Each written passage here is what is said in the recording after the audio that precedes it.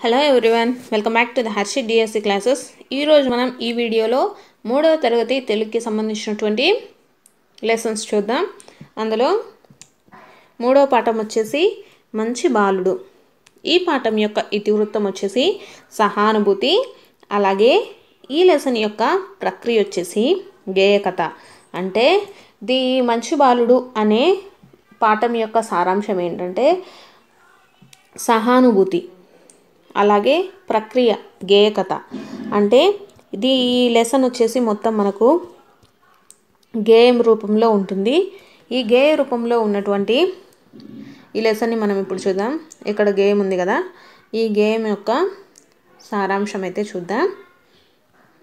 దీని యొక్క సారాంశం వచ్చేసి ఒకరోజు జోరున వాన కురుస్తూ ఉంటుంది.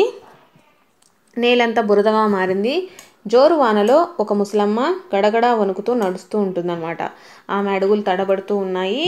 అయితే ఎవరు పట్టించుకోకుండా వెళ్తూ ఉన్నారు. ఆ సమయంలో ఏంటంటే స్కూల్ వదలడం జరుగుతుందన్నమాట. అప్పుడు ఆ పిల్లలు సందడి చేస్తూ అలా బురదలో ఆడుకుంటూ బయటికి వస్తారు అప్పుడు ఏంటంటే ఒక పిల్లోడు ఆ ముసలమ్మను చూసి నేరుగా ఆమె వద్దకు వెళ్తాడనమాట వెళ్ళేసి చేయి పట్టుకొని ఆమెను రోడ్డు దాటిస్తాడు. అలాగే వాళ్ళ ఇంటి దగ్గర కూడా దిగబెట్టొస్తాడు. అప్పుడు ఆ అవ్వ ఏం చేస్తుందంటే ఆ అబ్బాయిని దీవించడం జరుగుతుందనమాట అతను మళ్ళీ వాళ్ళ స్నేహితుల దగ్గరికి తిరిగి వచ్చి అమ్మ ఎవరికైనా అమ్మే అన్నాడు. ఏదో ఒకరోజు మన అమ్మకు కూడా ఎవరో ఒకరు సహాయం చెయ్యాలి కదా అన్నాడు. పిల్లలందరికీ అతని మాటలు అనేటివి నచ్చాయన్నమాట. ముసలమ్మకు సాయం చేయనందుకు వారందరూ సిగ్గుపడ్డారు. కష్టాలలో ఉన్నవారికి సాయం చేయమని చెయ్యని మనిషి యొక్క జీవితం వ్యర్థమని తెలుసుకున్నారు. అంటే ఈ మనం చూసాం కదా దీని యొక్క ఇతివృత్తం వచ్చేసి సహానుభూతి. అంటే ఎవరికైనా సహాయం చేయాలి. సహాయం చేయకపోతే మనిషి యొక్క జీవితం వ్యర్థము అని చెప్పడం జరిగిందనమాట. మనం చూసాం కదా దీని యొక్క ప్రక్రియ వచ్చేసి గేయ కథ అంటే ఈ లెసన్ వచ్చేసి మొత్తం గేయ రూపంలో ఉంటుంది కాబట్టి దీని యొక్క ప్రక్రియ వచ్చేసి గేయ కథ నెక్స్ట్ వచ్చేసి మనం ఈ లెసన్లో ఉన్నటువంటి పదాలు అర్థాలు అనేటటువంటివి చూద్దాం. దీంట్లో ఉన్నటువంటి పదాలు ఏంటంటే వీధులు అంటే బజార్లు జడిసి అంటే భయపడటము జనులు అంటే ప్రజలు జనము అలాగే త్రోవ త్రోవ అంటే దారి వడి అంటే వేగము సాయము అంటే సహాయము ముదుసలి ముదుసలి అంటే ముసలి వాళ్ళు అని. నెక్స్ట్ వచ్చేసి జాలి అంటే దయ కొనిపోవు అంటే తీసుకొని పోవు మనము అంటే మనస్సు దుర్బరులు అంటే బలం లేనటువంటి వారు. అలాగే మనుజుడు అంటే మనిషి మనుగడ అంటే జీవనము జీవితము అనే అర్థాలు వస్తాయన్నమాట. ఇవి ఈ లెసన్లో ఉన్నటువంటి పదాలు అలాగే అర్థాలని అర్థాలు. నెక్స్ట్ వచ్చేసి మనకు ఈ మంచి బాలుడు అనేటటువంటి లెసన్ ఎవరు రాశారు అంటే ఆలూరి బైరాగి అనే అతను రాశారనమాట ఈ ఆలూరి బైరాగి గురించి ఇప్పుడు మనము చూద్దాం. ఇరవయో శతాబ్దపు అగ్రశ్రేణి కవులలో ఒకరు. ఈ ఆలూరి బైరాగి అనేటటువంటి కవి ఇరవయో శతాబ్దపు అగ్రశ్రేణి కవులలో ఒకరు. మానవుడి అస్తిత్వ వేదనని కవిత్వంగా వెలువరించారనమాట అంటే మనకు మనుషుల గురించి కానీ లేకపోతే వాళ్ళ యొక్క మానవత్వాల గురించి కానీ ఇతను కవిత్వంగా వెలువరించారనమాట ఇతను రాసినటువంటి రచనలు వచ్చేసి చీకటి మేడలు నూతిలో గొంతుకలు ఆగమ గీతి అలాగే దివ్య భవనము ఈయన యొక్క ప్రసిద్ధ రచనలు. అలాగే బాలల కోసం చక్కటి గేయకథలు కూడా రచించారు. కేంద్ర సాహిత్య అకాడమీ పురస్కారాన్ని కూడా పొందారనమాట మళ్ళీ ఒకసారి కవి పరిచయం గురించి చూద్దాం. ఈ మంచు బాలుడు అనేటటువంటి పాఠం యొక్క కవి పరిచయం ఏంటంటే కవి ఎవరు రాశారు అంటే ఆలూరి బైరాగి గారు రాశారు.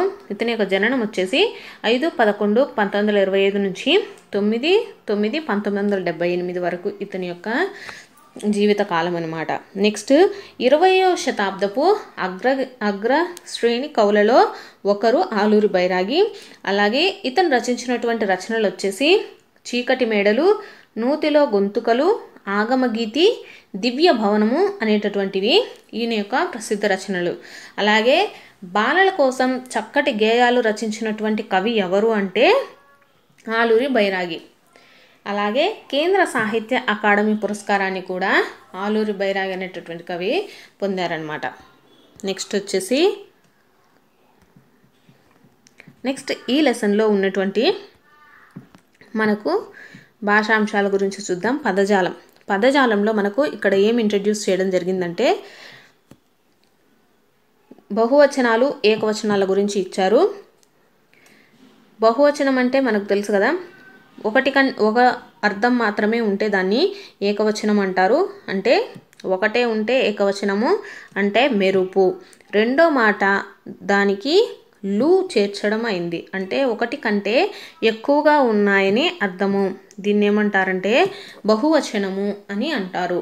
ఒకటి మాత్రమే ఉంటే దాన్ని ఏకవచనం అని ఒకటి కంటే ఎక్కువగా ఉన్న దానిని మనము బహువచనము అని అంటారు. ఇక్కడ కేక అనే ఏకవచనానికి బహువచనం వచ్చేసి కేకలు అలాగే కళ అంటే కళలు పిల్ల అంటే పిల్లలు అడుగు అంటే అడుగులు అనే బహువచనం వస్తుంది నెక్స్ట్ వచ్చేసి నెక్స్ట్ వచ్చేసి మనకు భాషా అంశాల కింద పులి స్టాప్ గురించి అలాగే కామా గురించి ఇవ్వడం జరిగింది. వీటి గురించి ఇప్పుడు చూద్దాం. నేను వాక్యాంత బిందువును వాక్యం చివర ఉంటాను. పులి స్టాప్ అనేది వాక్యాంత బిందువు అనమాట అంటే మొత్తం సెంటెన్స్ అనే వాక్యం అనేది కంప్లీట్ అయిపోయిన తర్వాత లాస్ట్లో ఉంటుంది. దాన్ని ఏమంటారంటే పులి స్టాప్ అంటారు. ఇక్కడ మనం కొన్ని వాక్యాలు చూద్దాం. తేజ బడికి వెళ్ళాడు. నేను రేపు సినిమాకు వెళ్తాను. వాక్యం అనేది పూర్తయిపోయింది కాబట్టి మనము ఇక్కడ పులి స్టాప్ అనేదాన్ని వాడతాము. మా తోట చాలా అందంగా ఉంటుంది. ఇక్కడ కూడా వాక్యం అనేది పూర్తయినది కాబట్టి మనము పులి స్టాప్ అనేదాన్ని వాడాలన్నమాట. పై వాక్యాల చివరన చుక్క గుర్తు ఉంది కదా? ఇలా వాక్యం చివరన ఉంచే చుక్కను వాక్యాంత బిందువు అంటారు. ఈ వాక్యాంత బిందువును మనం ఏమంటామంటే పూర్ణ విరామం అంటాము. అలాగే ఇంగ్లీష్లో ఏమంటారంటే పులి స్టాప్ అని అంటారు. ఈ పూర్ణ విరామ బిందువు ఉంటే ఆ వాక్యం అక్కడికి పూర్తి అయిపోయిందని అర్థము. మనం వాక్యాంత బిందువుని ఎప్పుడు పెడతాము అంటే ఆ వాక్యం అనేది అక్కడితో పూర్తి అయిపోయింది అని తెలపడానికి మనము ఈ పులి స్టాప్ అనేదాన్ని వాడతాము. అలాగే పులి స్టాప్కు ఉన్నటువంటి ఇంకొక పేరు వచ్చేసి పూర్ణ విరామం అని కూడా అంటారు. నెక్స్ట్ వచ్చేసి కామ గురించి చూద్దాం. ఇక్కడ కామ గురించి ఏంటంటే ఇక్కడ కొన్ని వాక్యాలు ఇచ్చారు. ఫస్ట్ వాక్యాలు చూద్దాం. తోటలో జామ చెట్లు అలాగే సపోటా చెట్లు నారింజ చెట్లు మామిడి చెట్లు ఉన్నాయి. ఇక్కడ జామ చెట్లు అనే దగ్గర సపోటా చెట్లు అలాగే నారింజ మామిడి చెట్లు ఉన్నాయనే దగ్గర కామాలు చూసాం కదా. రాము అంజి జగ్గు మంచి స్నేహితులు. పై వాక్యాలు చదివేటప్పుడు కొన్ని చోట్ల కొద్దిగా ఆపి చదువు చదువు చదువుతాం కదా? అట్లా ఆపి చదవటాన్ని స్వల్ప విరామం అంటారు. అంటే మనకి ఇలా కొంచెం సేపు విరామం తీసుకొని అలా చదువుతూ ఉన్న చోట్ల మనము కామ అనే గుర్తును వాడుతూ ఉంటాము. దీన్ని ఏమంటే ఏమంటారు అంటే స్వల్ప విరామ చిహ్నము అంటారు. ఆంగ్లంలో దీన్ని కామ అని అంటారు.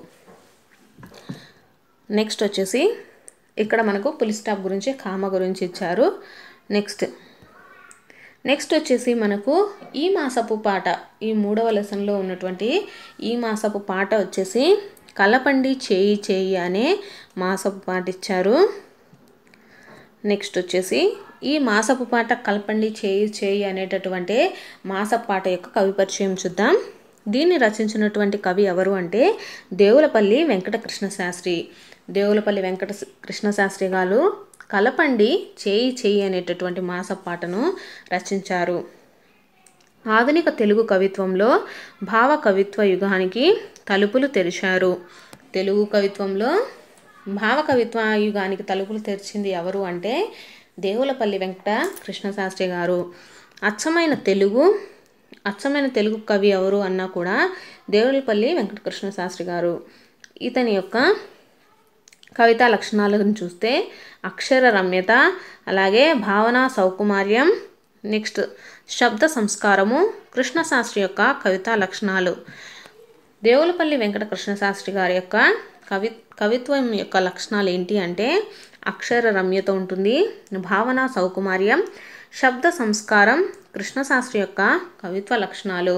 అలాగే అందుక అందుకని వీరి కవిత్వాన్ని శ్రీశ్రీ గారు దేనితో పోల్చారు అంటే ఇక్షు సముద్రంతో పోల్చడం జరిగిందనమాట దేవులపల్లి వెంకటకృష్ణ శాస్త్రి గారి కవిత్వాన్ని శ్రీశ్రీ గారు దేనితో పోల్చారు అనే క్వశ్చన్ అడిగితే మనము ఏమి రాయాలంటే ఇక్షు సముద్రము అనే ఆన్సర్ని చేయాలి.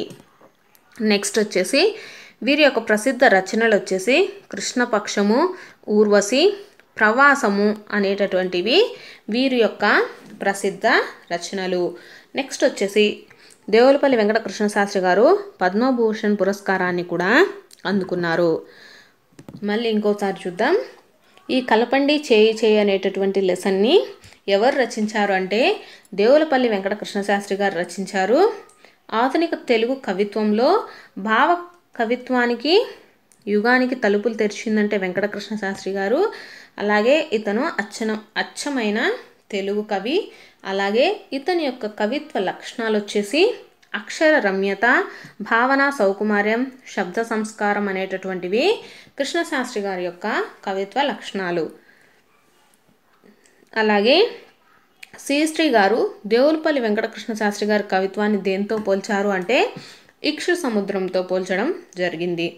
నెక్స్ట్ వీరి యొక్క రచనలు వచ్చేసి కృష్ణపక్షము ఊర్వశి ప్రవాసము అనేటటువంటివి వీరి యొక్క రచనలు. ఇతను పద్మభూషణ్ పురస్కారాన్ని కూడా అందుకున్నారనమాట నెక్స్ట్ వచ్చేసి బావిలో నీళ్ళు.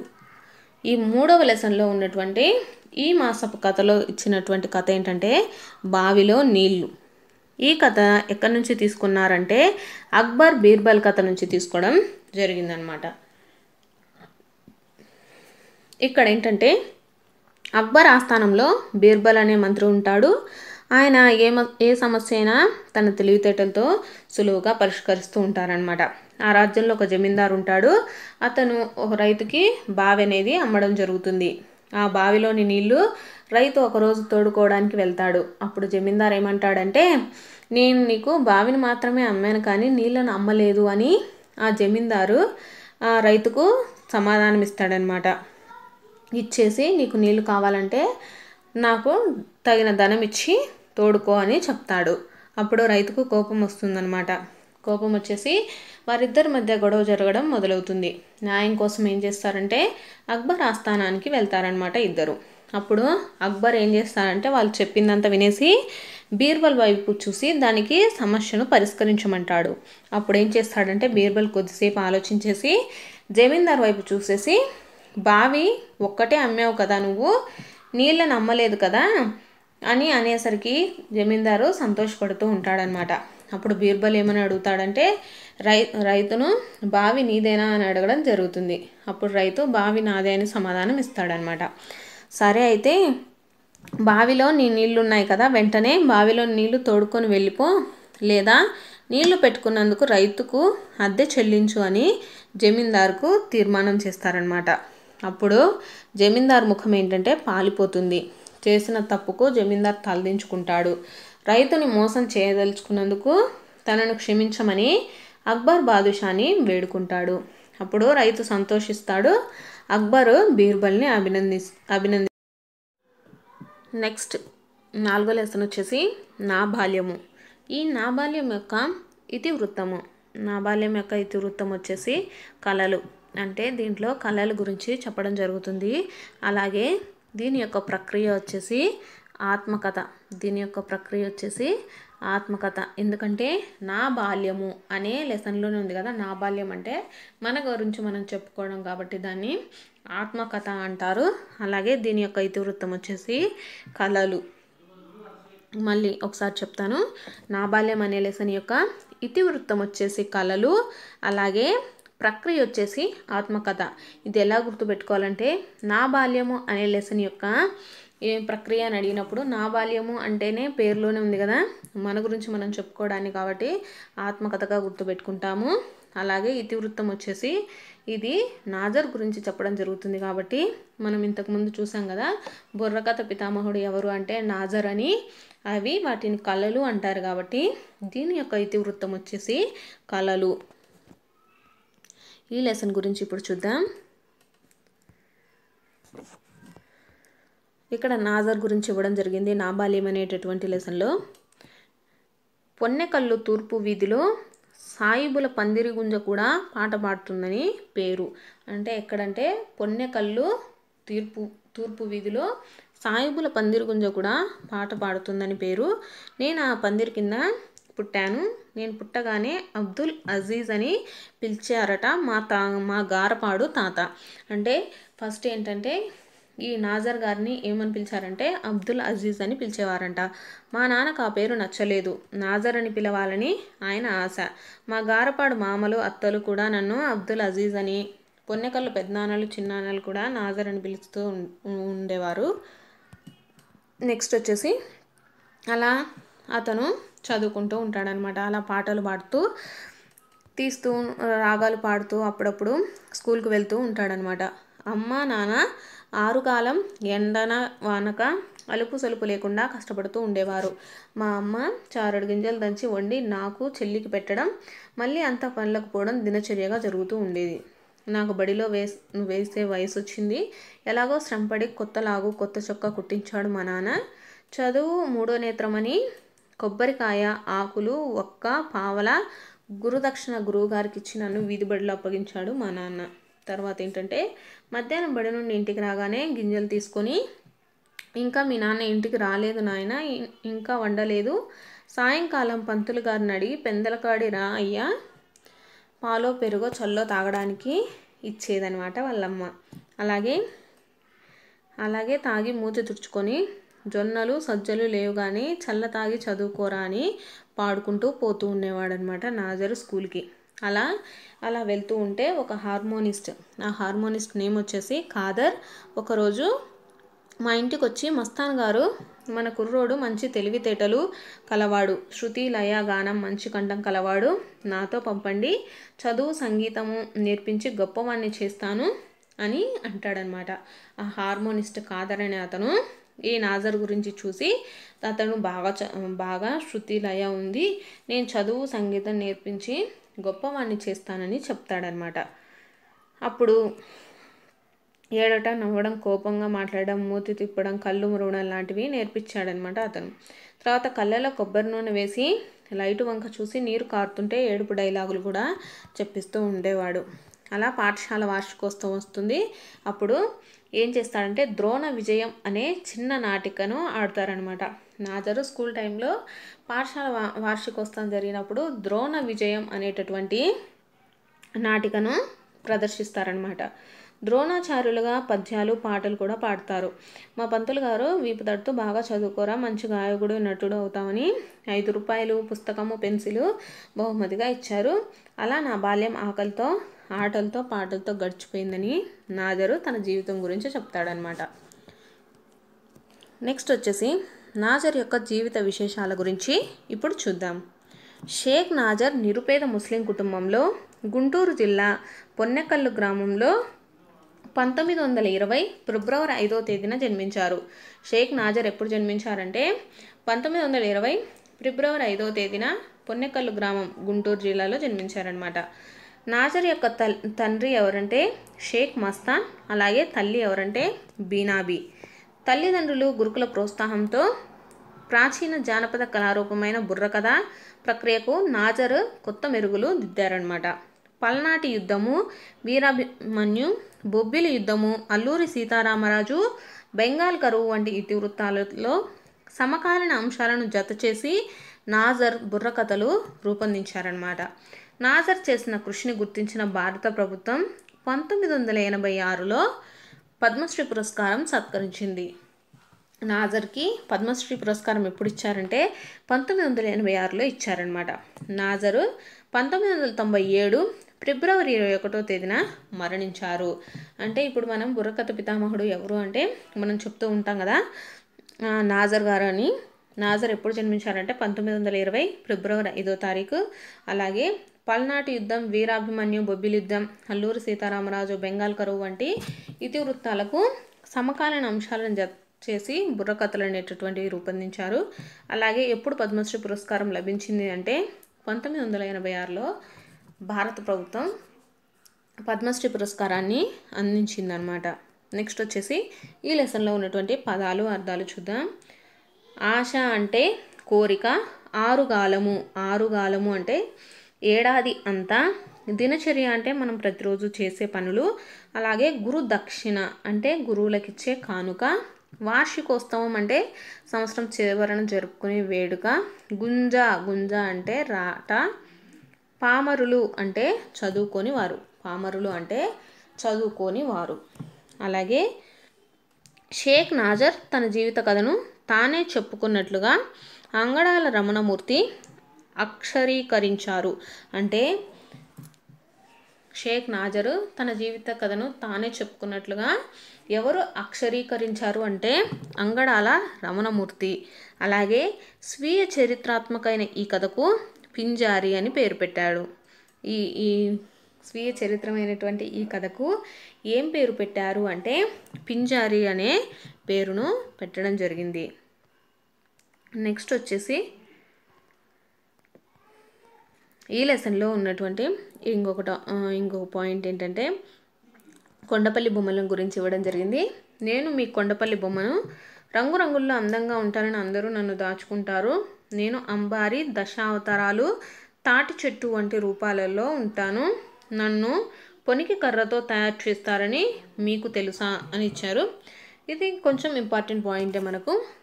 ఈ కొండపల్లి బొమ్మలను ఏ కర్రతో చేస్తారు అంటే పొనికి కర్రతో తయారు చేస్తారనమాట పొనికి కర్రతో ఈ కొండపల్లి బొమ్మలను తయారు చేయడం జరుగుతుంది. కర్రను బొమ్మగా మలచడంలో ఎంతో కష్టం ఉంటుంది.